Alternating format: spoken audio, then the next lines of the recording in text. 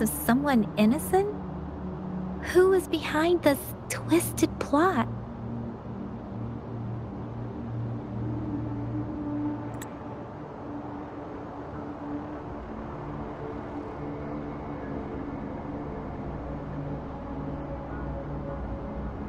I'm sorry.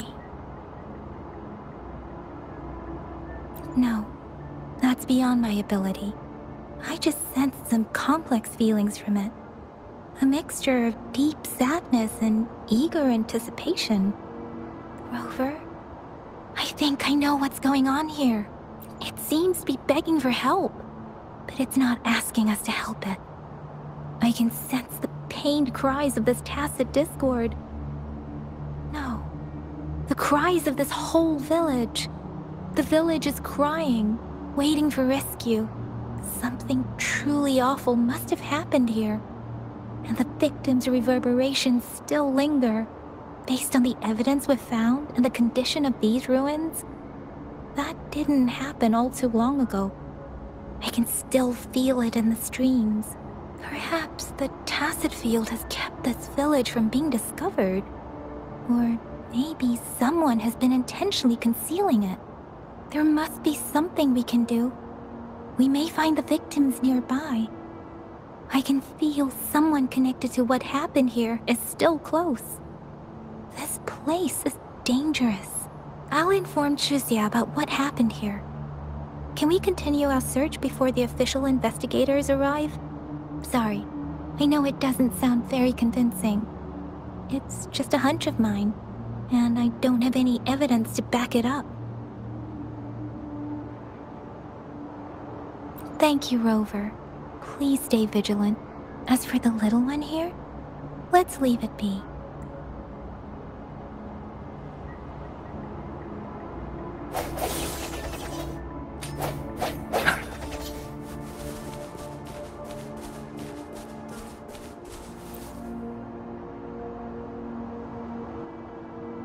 The area is a mess, but it doesn't look like a war zone.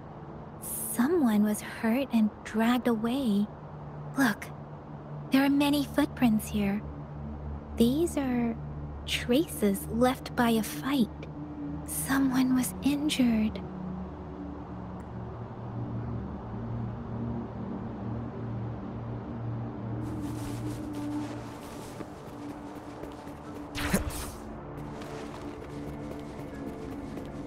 One with the sounds.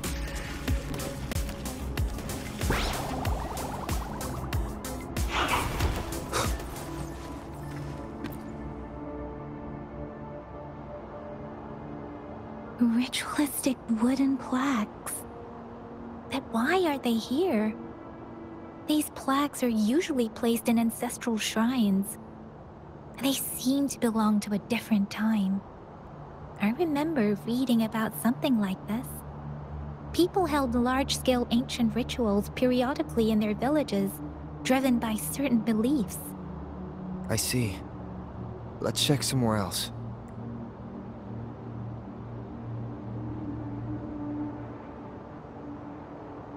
These cards.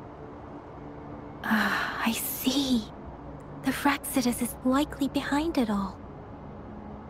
The Fractsidus? Yes. I don't know much about the Fractsidus, but as an outrider, I've worked on related cases. It's a group of extremists obsessed with fusing humans with tacet discords. They've caused terror attacks of various scales around the world. Fusing humans and tacet discords. We've seen signs of their presence in Jinzhou, left by lower ranked members called artificers. Above the artificers are the overseers, leaders with eerie abilities and unknown intentions.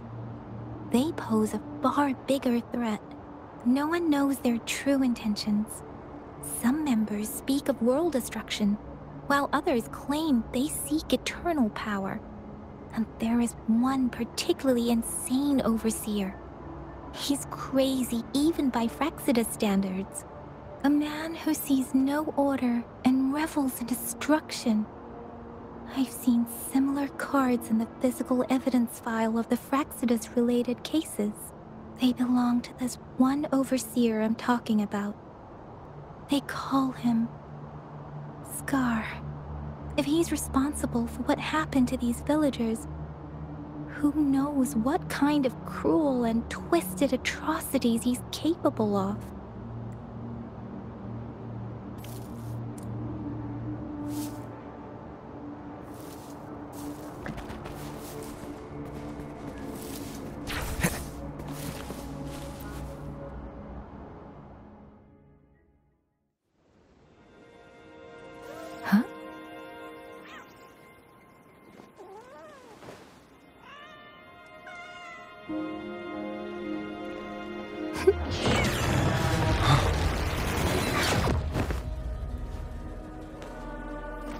Guess you won't need my self-introduction. Oh, I spent so much time on it.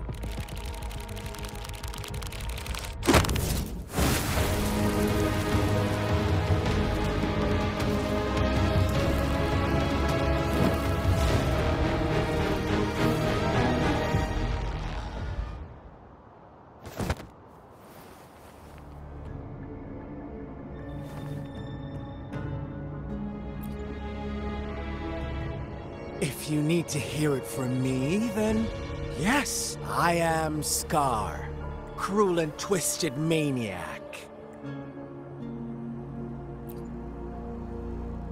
We deserve a meeting free of such disturbances, don't you agree? The girl, she's gonna sway your judgment.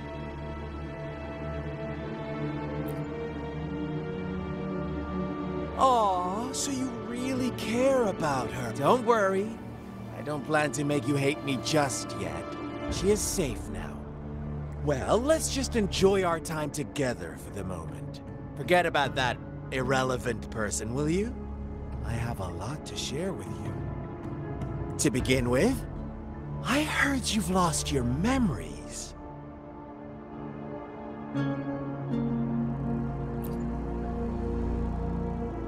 So, it's true. That makes sense, given how fragile you were when you woke up, or I would have questioned the authenticity of those rumors. So you noticed. Oh, I am flattered. No need to be so on edge. By now, you should have realized I'm just one of the onlookers. But out of all the onlookers, I'm the only one who came forward to meet you with absolute honesty. Before you knew anything about this world, you were already the center of conflict. You are the unknown variable we've been waiting for. Forces have been fighting for possession over you. From the moment you opened your eyes, everyone you've met, including that girl you care so much about, they all knew how valuable you are. The world is a cruel place. You are a living, breathing person, but you're just a pawn to many. That's why I'm here. Because I see you as a dear friend, and I want to tell you the truth. I am so, so sorry for everything you're about to face. But truth hurts sometimes.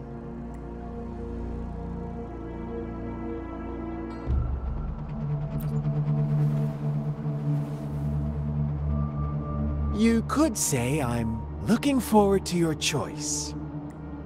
My goal is simple.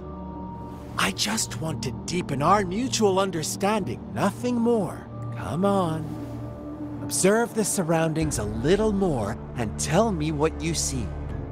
As you learn more about this world, your true desires will surface. And our little game will become even more entertaining. And before that, I don't want anyone to disturb my precious alone time with you.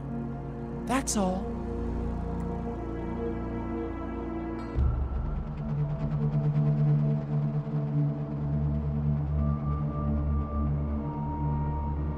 Ah, why do you have to assume we are the culprits? Maybe you should be asking me what actually happened here.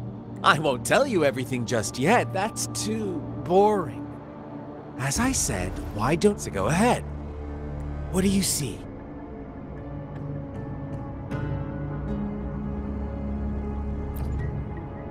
Bravo! Didn't think you'd ca- Now, what is the conclusion you've drawn?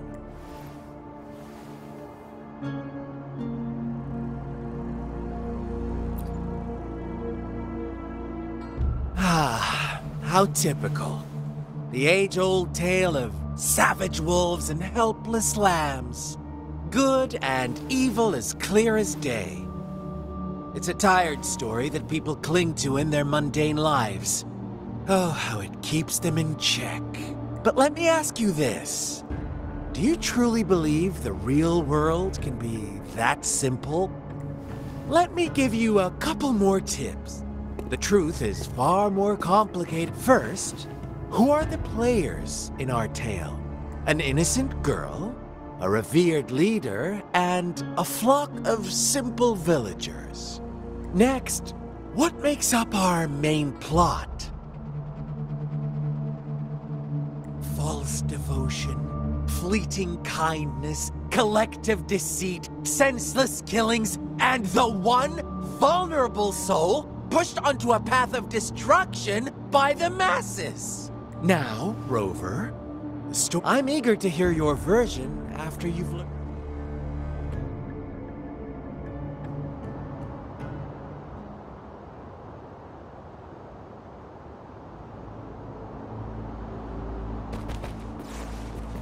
One with the sounds.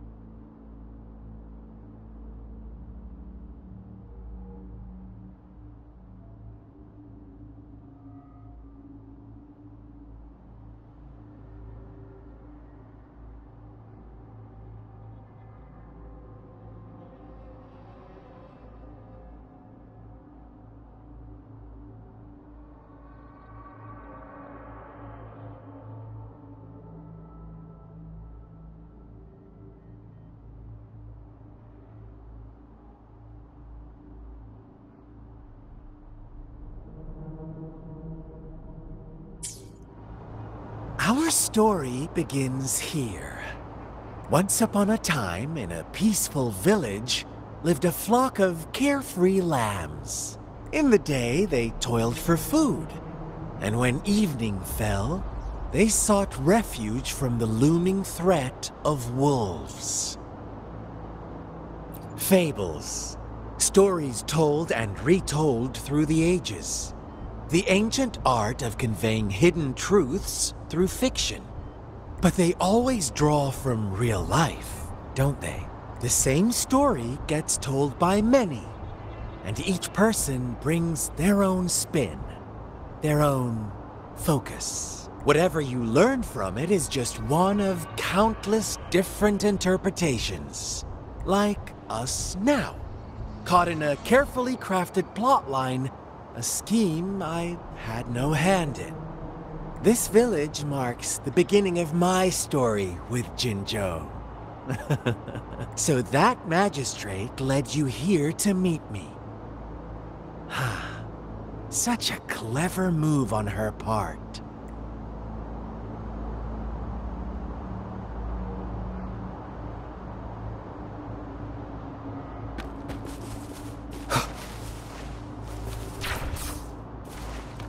One with the sounds.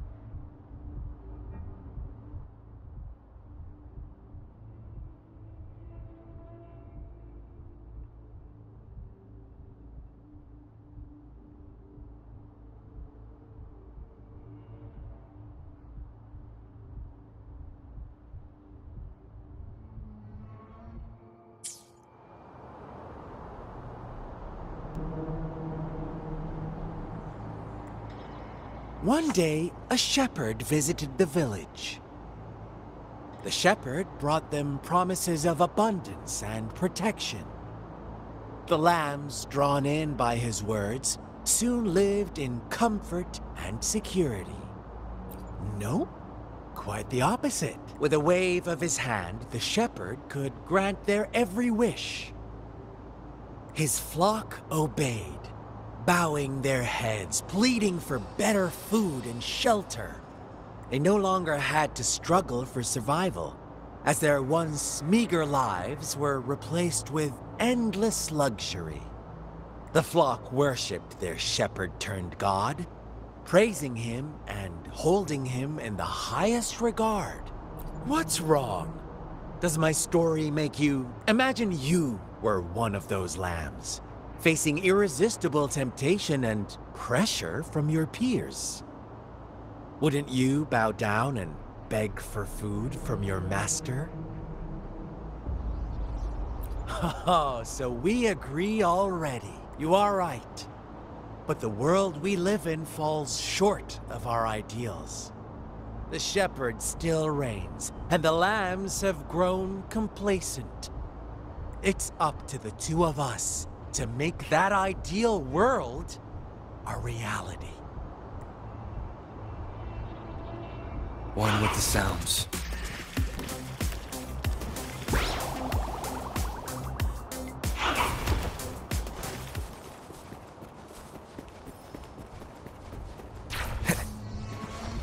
One with the sounds.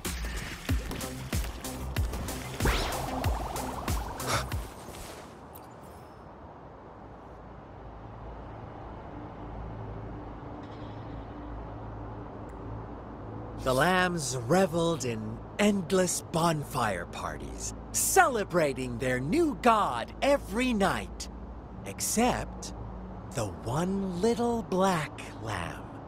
As each night passed, it was the only one to notice how its flock was dwindling away. Rover, do you think someone would give you what you want without taking anything from you? Mm.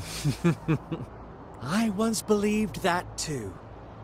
Thought as long as I paid a high enough price, I could get my desired outcome. But true equality is scarce, always has been. The world was never a fair place. Wouldn't you agree? To receive equal retribution, one must give more, and more, and more. When every wish comes with a hefty price, people weigh their options carefully. When they can make someone else bear the price, they all rush to make more wishes. They don't consider they too may one day pay for another's selfish desire. Funny, isn't it? One with the sounds.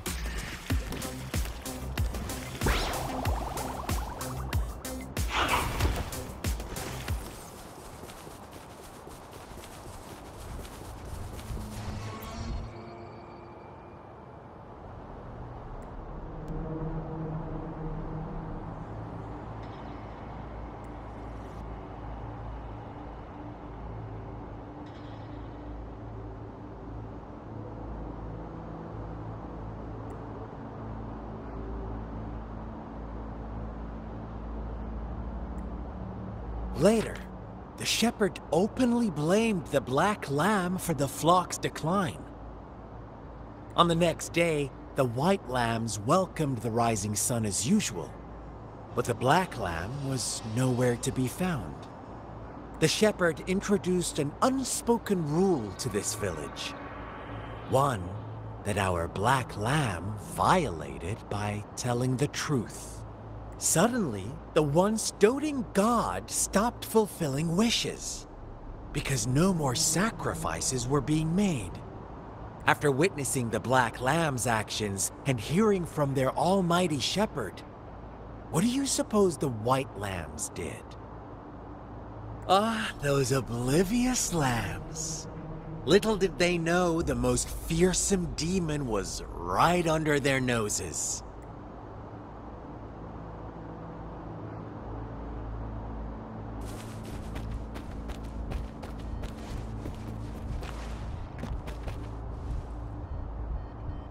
I sense your weakness.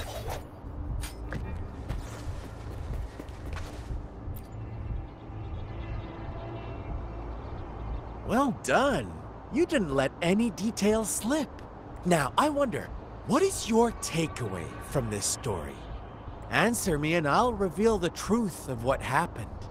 Who was the real culprit behind the diminishing number of lambs? Brilliant answer.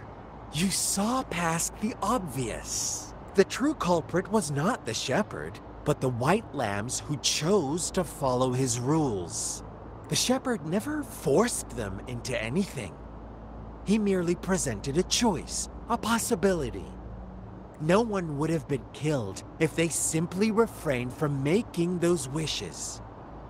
Their greed and indifference were the cause of it all. Now, my second question. What price did the lambs pay for their wishes?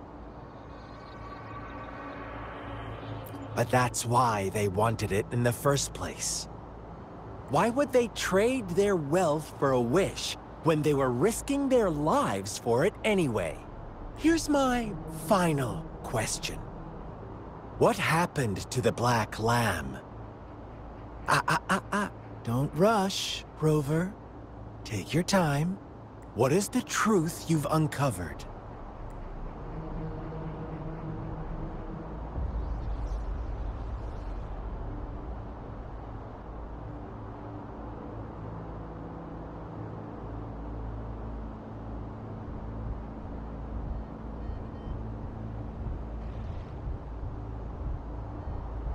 The shepherd was granting wishes by sacrificing the lives of lambs. The flock found out the truth, but chose to be his accomplices, and they willingly offered the black lamb as another sacrifice. That's right! Little lambs cowered and huddled in their village, terrified of the relentless wolf packs. until a shepherd arrived, bearing the gift of wishes and providing shelter and sustenance.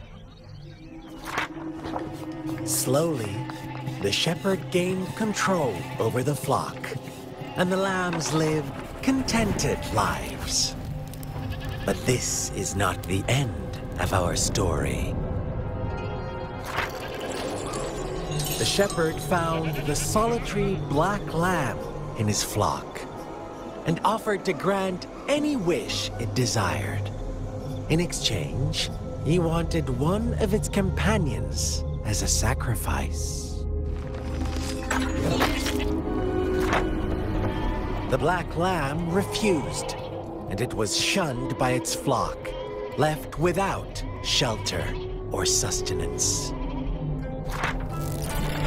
After the black lamb's exile, more lambs continued to vanish. The shepherd then blamed the black lamb for breaking the rules and withheld his wish-granting power as punishment.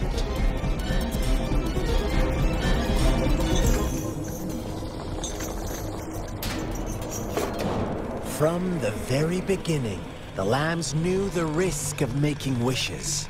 They too could become sacrifices for those of others. But they always believed it wouldn't be them. Meanwhile, some lambs reasoned that since they had already risked being sacrificed for someone else's wish, it was then only fair to pass on that risk for a chance at fulfilling their own desires. And so they continued to play the game. They all knew the consequences, but chose to remain silent. Fearful, yet greedy, they followed the shepherd's orders and made wishes again and again. Until one day, a brave black lamb spoke up, shattering the flock's facade, their illusion of a peaceful and happy life.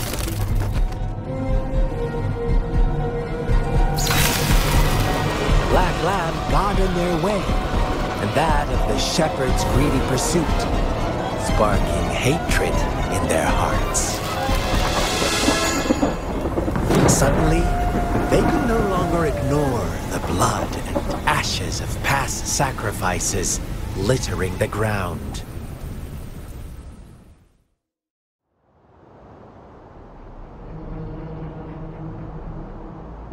How do you like my story, Rover? What really happened here? I suppose you already have it figured out? The black lamb who rebelled against the rules, and the white lambs who succumbed to their greed. The innocent maiden sacrificed, and the villagers who turned on each other in a ruthless frenzy. They had it coming. All the shepherd had to do was execute the rebel. That's how he kept the flock in check and maintained the status quo. Fun answer, but no. Not even close. I was never the shepherd. Never will be. You and I, we are the Black Lamb. The one who breaks the rules.